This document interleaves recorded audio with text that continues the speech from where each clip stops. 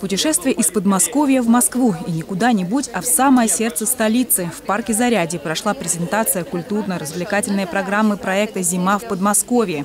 Чем богаты и привлекательны для туристов города Московской области, решили показать наглядно. Москва работает в партнерстве с регионами, и именно поэтому э, у Москвы и Подмосковья сложились теплые партнерские отношения, и э, Комитет по туризму города Москвы совместно с Министерством культуры и туризма города Москвы э, сделали проект, который называется «Два ритма одного путешествия». 11 конструкторов маршрутов позволяют спланировать свое путешествие по историческим точкам Москвы и Московской области. Зарайск, Коломна, Сергиев Посад, Дмитров.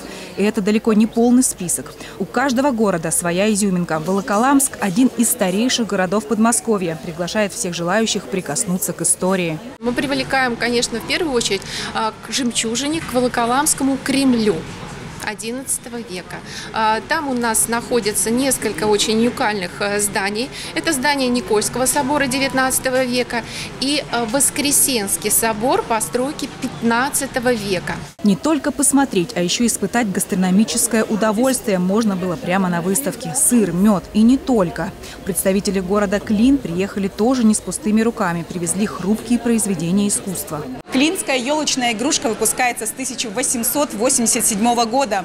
Песок в Клину богат кварцитами, поэтому и стекольная промышленность здесь очень развита. Промысел зародился еще в 19 веке. Игрушки до сих пор расписывают вручную.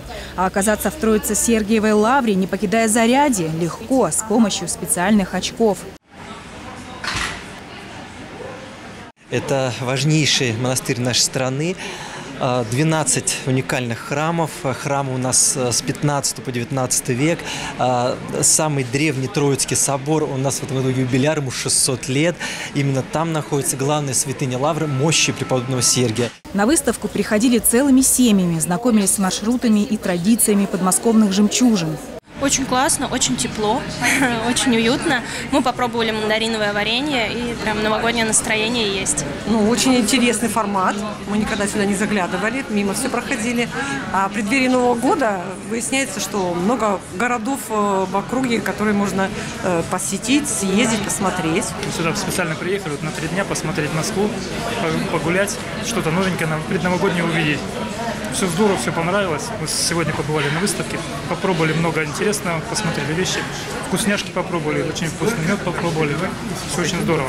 В Заряде можно было бегло познакомиться с достопримечательностями Подмосковья, но впереди новогодние праздники, чем не повод отправиться в путешествие, но уже не виртуально. Татьяна Верняковская, Артем Ломоносов, телекомпания «Одинцова».